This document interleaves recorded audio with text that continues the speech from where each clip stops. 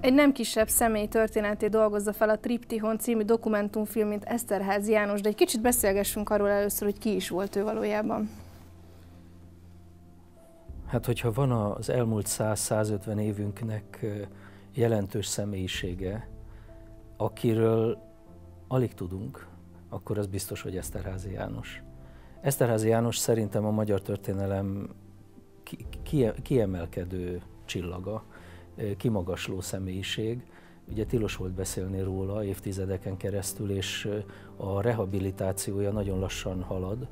Talán elsősorban azért, mert annak ellenére, hogy Oroszországban posztumusz rehabilitálták, Lengyelországban kitüntették talán a legmagasabb állami kitüntetéssel, Magyarországon is minden elismerést megkap, de Szlovákiában továbbra is háborús bűnös, teljesen alaptalanul, ezt szeretném hozzátenni.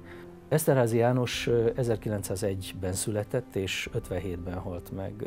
A felvidéki magyarságnak volt mindegy 10-12 éven keresztül a vezetője. Az aktív életének a második szakaszát pedig a Gulágon és csehszlovák kommunista börtönökben töltötte, és gyakorlatilag vértanú halált halt.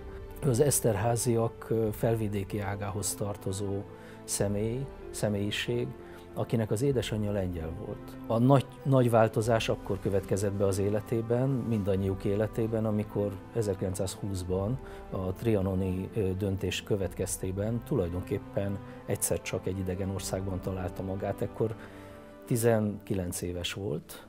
Nagyon hamar kiderült, hogy rendkívüli képességei vannak a, a, a, a, a közösség képviseletére, kiváló szónok volt, nagyon sok nyelven, talán, hogyha jól emlékszem, öt nyelven kiválóan beszélt, és nagyon gyorsan a felvidéki magyarság vezetője lett. Három-négy órás beszédeket tartott a, a, a prágai parlamentben, hiszen parlamenti képviselővé választották, és először Prágában, majd utána Pozsonyban, amikor Csehszlovákia önállóvá vált, Pozsonyban volt képviselő. Ő volt az egyetlen egy ember, aki a létrejött új szlovák parlamentben, és amikor a zsidó törvény létrejött, meg kellett szavazni, akkor gyakorlatilag ő volt az egyetlen, aki nemmel szavazott a, a zsidó törvényekre.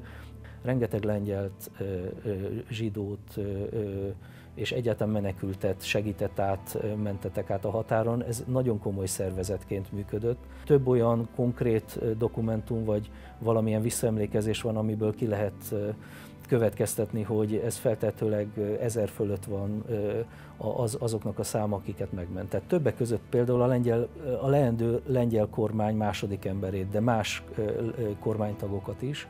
Így telt ezzel tulajdonképpen egészen 45-46-ig az élete. Lényegében a térség a, a, a szovjet birodalom befolyása alá kerül, amikor ő felméri, hogy mint politikus vagy vezető már nem tehet semmit, és itt hoz egy nagyon különleges döntést. Tulajdonképpen ez a döntés az alapja annak a boldogávatásnak, ami aztán elindul a napjainkban. Tudatosan bemegy Gusztáv Huszákhoz, követelni a magyarok jogait, azonnal letartóztatja Gusztáv Huszák és az NKVD, és deportálják őt tíz másik politikussal együtt. Szörnyű vallatások következnek. Majd utána a gulágra kerül, gulág táborokban nagyon hamar megbetegszik, és ez a 193 cm magas ember kevesebb, mint 50 kilóra lefogy. Innentől az ő, ő sorsa elkezd szó szerint Krisztusi sors lenni. Mondok egy példát.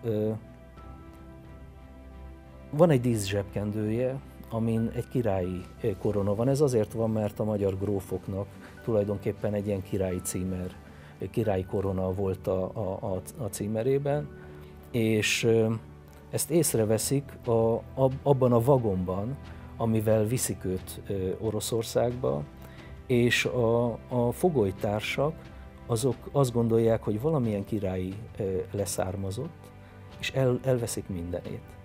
És a szó szoros értelmében mesztelenül érkezik ki. Mesztelenül. Egy katonakabátot terítenek rá, hogy hát mégiscsak legyen valami ruha rajta. Halálra ítélik Csehszlovákiában, és azért, mert halálra ítélik, ezért hazahozzák, nem tudom, talán három év után.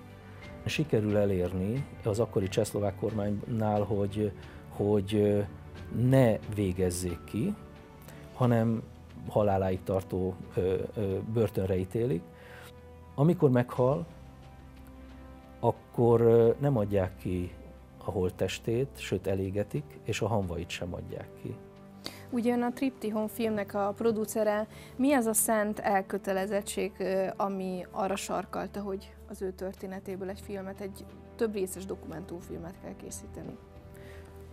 Hogyha konkrét történet a kérdés, akkor Pável Cebula atya, aki a posztulátora a boldog elvatásnak, mi véletlenül találkoztunk. Szerettem volna beszélgetni Szent Ferenccel kapcsolatban, mert gondolkodom már régóta egy, egy e, elsősorban inkább színházi előadás létrehozásán Szent Ferencről.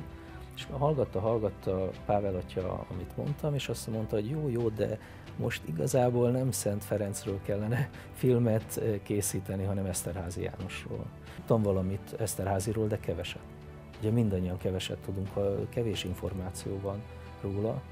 Olyan, olyan személyiségre és olyan történetre találtam rá, ami meg, meg fogja változtatni az életemet. Én azt tapasztaltam, hogy mindenki, aki egy kicsit mélyebben megismeri Eszterházi történetét, olyan erős hatással van az emberekre, hogy kisebb vagy nagyobb mértékben szó szerint valóban megváltoztatja az életüket. Az, hogy létezik ilyen személyiség, óriási dolog, hogy ez egy magyar ember. Tehát, hogy van, van a, a közelmúltból, talán a leg, legnehezebb, legsötétebb időszakából az emberi történelemnek van olyan, ember, van olyan magyar, ki erre képes. Az a helyzet, hogy Eszterházit érdemes megismerni. És hát tulajdonképpen ez a küldetése a filmjeinknek. De ezen keresztül is tulajdonképpen a közép-európai térség összetartozásának és jövőjének az ügye. Ez az ember éltünk halt meg, azért áldozta fel az életét, hogy mi most itt üljünk, és hogy a jövőben ö, sikeresek legyünk, a jelenben is és a jövőben is.